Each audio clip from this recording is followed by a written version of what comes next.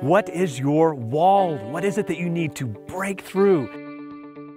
Is it inertia? Is it getting motivated just to start moving? Or is it a performance goal that you need to crush? What is that wall? In my journey as a runner and as a coach, I've learned and developed techniques that have helped me break through those walls. I teach these techniques in my book, Flow State Runner.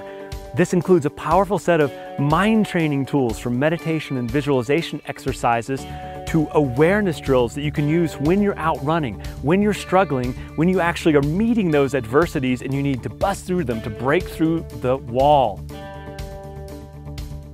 Check out my book. Learn how to activate your inner coach. Learn how to break through those walls. Learn how to experience flow in running and how to carry that over into other areas of your life.